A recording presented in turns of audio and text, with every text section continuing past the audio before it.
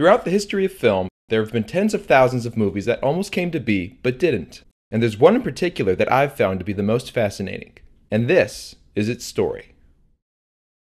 On January 18, 1964, a movie called The Incredible Mr. Limpet hit theaters.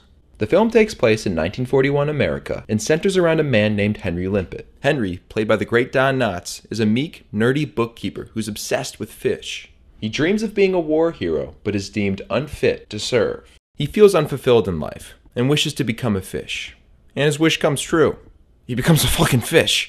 And as a fish, a lot happens to him. He befriends a crab named Krusty, falls in love with another fish named Ladyfish, and uses his echolocation to assist the US Navy with locating and destroying Nazi U boats, which leads to him becoming the war hero he always wanted to be. With its main character appearing as a cartoon fish for a large chunk of its runtime, The Incredible Mr. Limpet was one of the first live action movies to feature really extensive animated scenes. At first, it wasn't an immediate box office smash.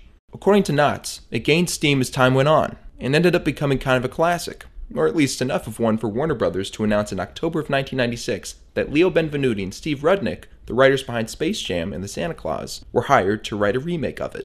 The script they went on to write shared the overall story beats of the original, but would still come with plenty of changes. Their version of the Mr. Limpet story took place in present day America, which meant that Limpet and the US Navy weren't fighting Nazis, but rather a more modern threat.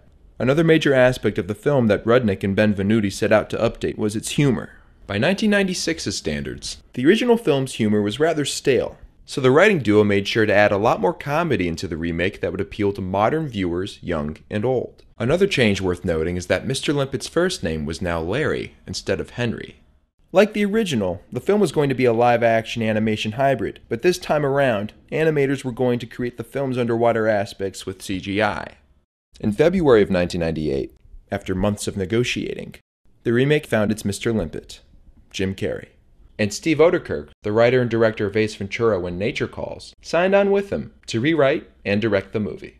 The studio paid Carrey a whopping $25 million to star in the film. And because they were paying so much for Carrey, the studio wanted to get their money's worth out of him, and decided that if they were going to pay that much for Carrey to appear in the film, he was going to be on screen throughout the whole thing so they told character designers working on the film to make Mr. Limpet's fish form look as close to Jim Carrey as possible. This eventually led to the fish form of Mr. Limpet having the actual face of Jim Carrey. Carrey then had to do extensive motion capture tests, where he, with his trademark rubbery face, made a wide range of facial expressions, so animators could put them onto the CGI fish that would have a CGI version of his face.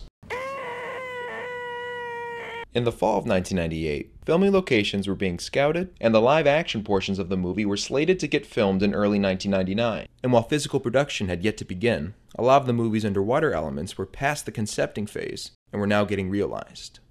Around $10 million was spent on animation tests, for which animators created underwater environments and sea creatures.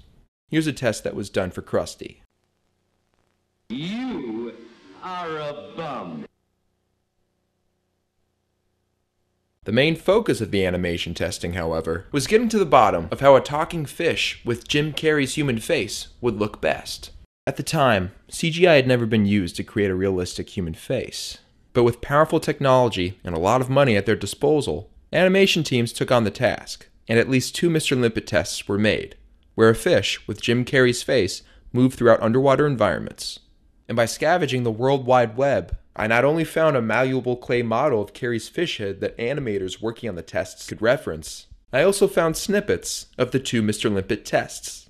Without further ado, here are parts of the first test.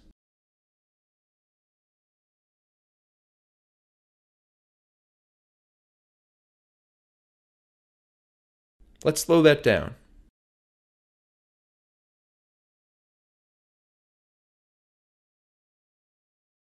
The available footage only shows a few glimpses of Mr. Limpet's face, but the other test footage I found gives us a much better look.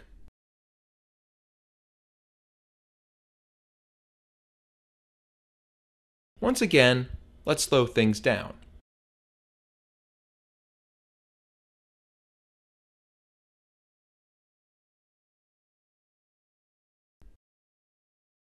In March of 1999, Steve Oedekerk stepped down from the project. Due to the reportedly high tension creative differences he had with the studio.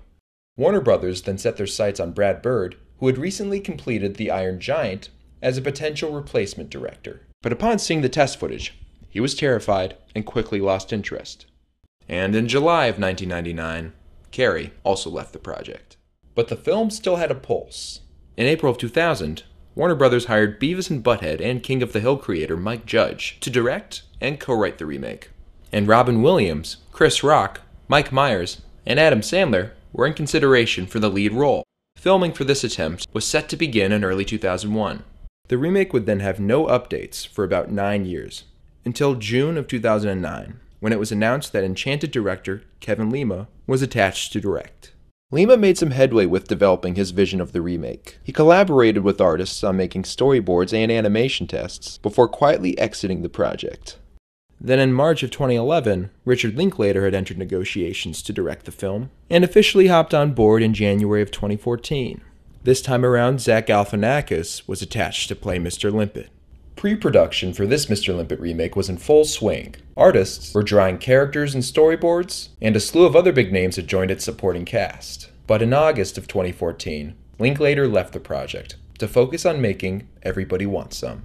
And ever since then, the remake has been dead in the water.